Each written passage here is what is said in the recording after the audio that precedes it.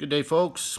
Welcome back to video 6 of our 10 proven patterns for still waters here with the BC Fly Guys. Um, changing things up a little bit here, moving on to some attractor patterns and uh, this is probably the mother of all attractors. Uh, I'm going to tie for you a booby and um, so you can play with the colors on this fly. You can uh, pretty much do whatever you want as far as color combinations and that kind of thing. Um, but this is one of the most deadliest patterns that uh, that I've fished. Um, when fish aren't taking anything else, um, you strip a booby in front of them and uh, they seldom refuse it. So um, we'll go ahead and get started. I've got some fluorescent fire orange ultra thread here and we'll just get this started up by the hook eye and uh, just kind of work my way back a little bit here just to give myself a thread base to work with. And uh, we can come back up about three quarters of the way up. And uh, I've got some bright yellow uh, marabou here. And so we're just going to tie this marabou in and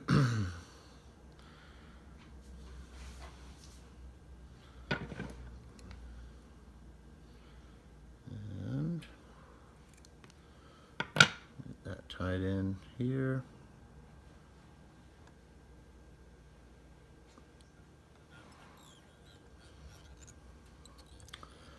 Work our way down a little bit.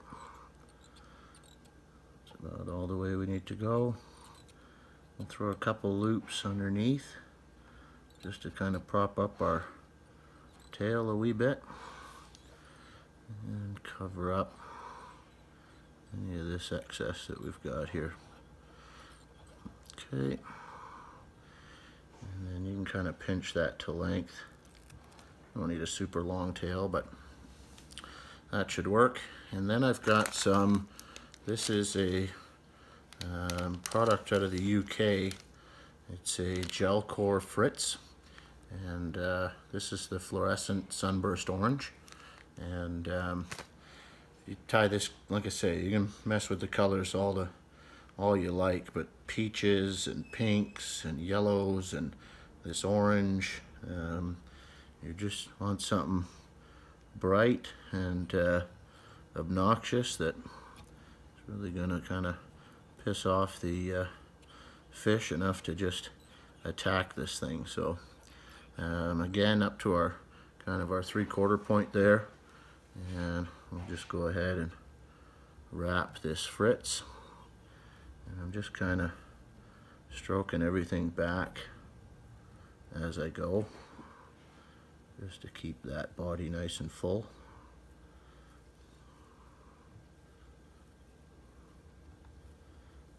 Once you get up to that three quarter point here you can go ahead and tie off that fritz.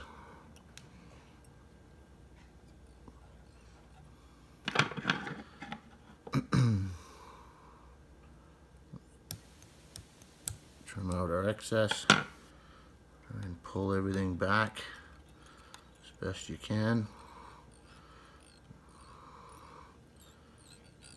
Get some stragglers in there, it's fine. Don't be too concerned about it. You can just trim those out of there.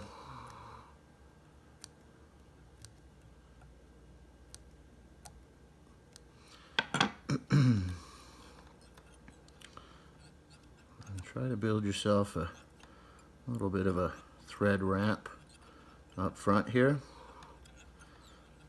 Keep that as fairly smooth if you can. Makes the next step a wee bit easier. That looks okay right there. And now I've got some uh, booby eyes, and these are from Rainy's. Um, you can make your own out of some cylinder foam, but these are kind of nice. They come in different colors. I'm using some yellow ones right now. White works just as well. and uh, so we just want to get those tied in up top.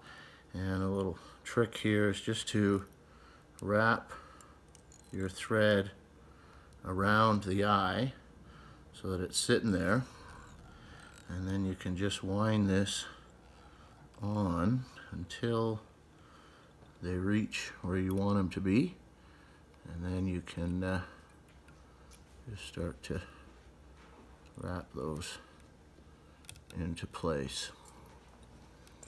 You're just going to figure eight wrap that best you can however you want to attach it I just do a bunch of figure eights until they're fairly secure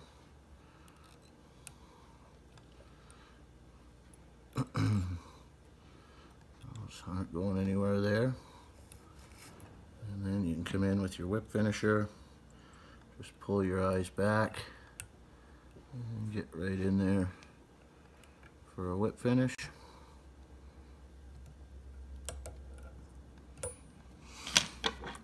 Just like so. And you're just about done. now I'm just going to take a little bit of super glue to set those eyes even more so they're not going nowhere. Do a little bit on top. Another shot underneath on your thread wraps. And those aren't going anywhere. There you have it. There is a deadly booby pattern. Um, fish it on a fast sinking line. Uh, the booby eyes will keep it afloat off the bottom, short leader, four or five feet, and uh, rip that nice and fast through the water and hang onto your rod because the uh, takes can be pretty pretty hard with uh, these flies. So um, hope you enjoyed the video. Uh, I don't know if I mentioned, but that was tied on a number eight scud hook. Uh, the short shank hooks are better for these flies as the fish aren't uh, as likely to take them so deep. But hope you enjoyed that one. I know this thing will catch you some fish.